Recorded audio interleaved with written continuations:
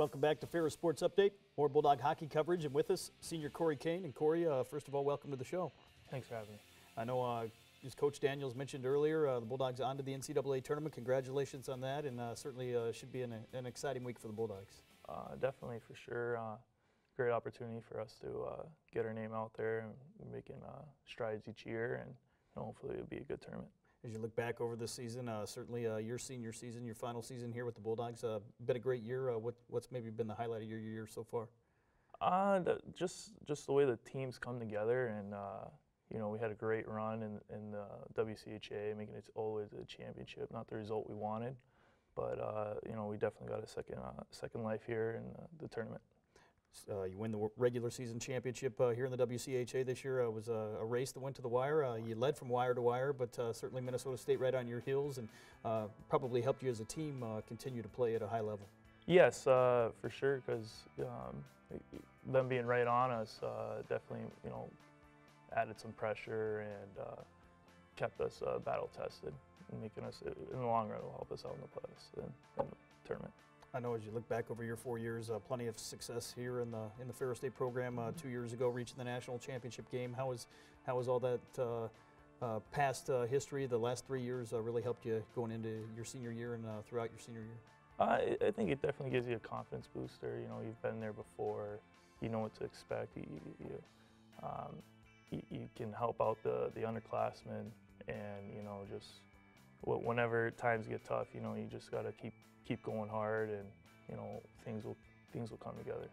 Five seniors uh, going to go out as uh, the most wins uh, by a senior class uh, here in, in school history. What, is it, what does that mean to you uh, with uh, being able to do that with the, that group of guys? Well, it means a lot. You know, um, I didn't realize that until you said that, but um, you know, I, I, think it's definitely an honor. You know, being able to say, "Hey, we won the most games," and out of the existence of the program, it means a lot the Bulldogs uh, over the course of the year, uh, terms of the lines, uh, mixes up each and every night, uh, different times. But uh, one of the mainstays there, uh, alongside you, has been another senior in Andy Huff.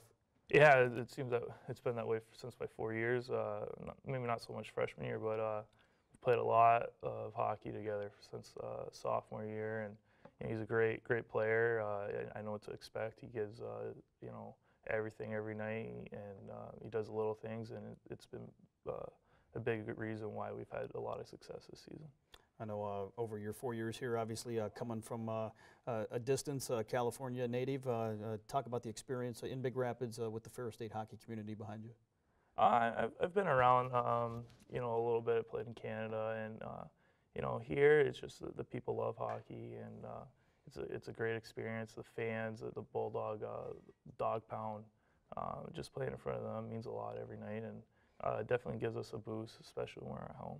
Know this uh, past weekend, obviously a great experience in Grand Rapids, uh, reaching the championship game in the WCHA tournament. But then you come home and uh, right away uh, the selection show on on Sunday, and a, great crowd at Buffalo Wild Wings, and uh, certainly a great occasion uh, celebrating the fact that the Bulldogs are back in the NCAA tournament.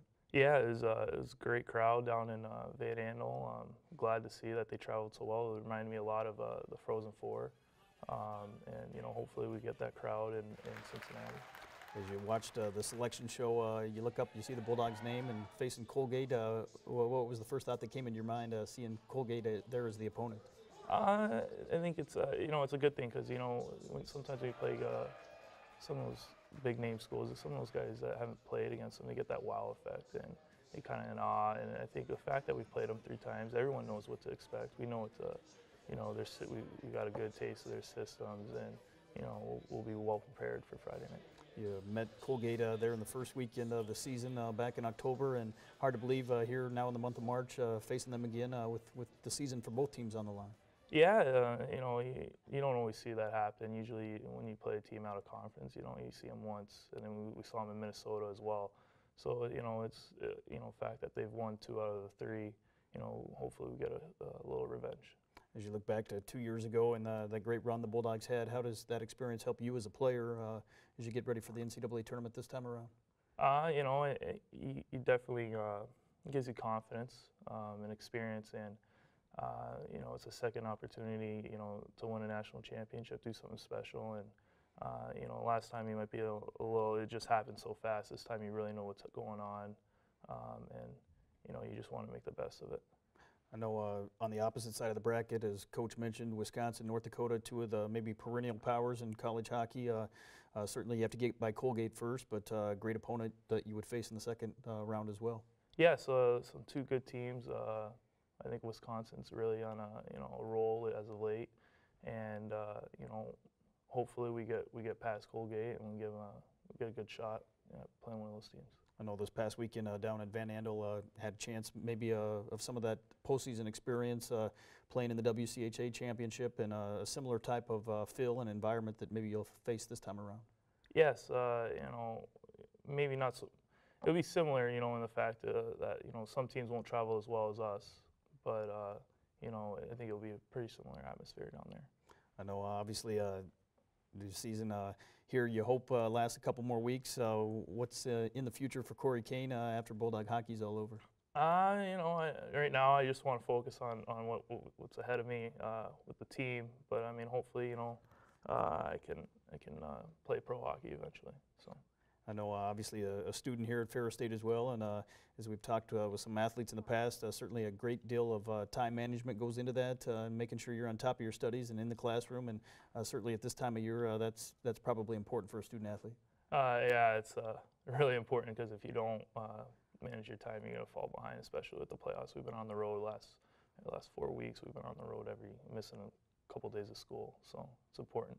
We saw the footage of the Alaska Anchorage uh, game winner uh, here uh, earlier in the show, and uh, the Bemidji one before that. Uh, it's certainly been some exciting uh, playoff type hockey here in the last couple weeks for the Bulldogs. Yeah, those uh, those are the type of the moments you live for. You know, when when game's on the line and, and you know someone someone on the team doesn't matter who, but as long as the team wins and you see the the, the boys just swarm each other, it's just it, that's that's hockey. That's playoff hockey. It's hockey you want to be a part of. I know as, uh, as a senior, uh, certainly uh, you learned uh, from some gr- great seniors ahead of you as you look back to two years ago, Chad Billins, Taylor Nelson, uh, the list goes on. Uh, how do you take some of the, some of the traits that they helped establish and pass those down onto some of the younger players? You know, you take a little bit of everybody's, you know, what they do well, and you don't want to be too overbearing with the underclassmen, but you know, you just want to. You know, the way I look at it is, you want to lead by example, and that's that's what those guys did, and um, you know, they had success. They took us to the Frozen Four first time, and you know, hopefully we can do something like that this year. Well, Cory, uh, best of luck to the Bulldogs here in the NCAA tournament starting this week. Thank you. That's going to do it for another episode of Ferris Sports Update. A reminder you can follow all the action and all the updates online at ferrisstatebulldogs.com. Thanks for tuning in.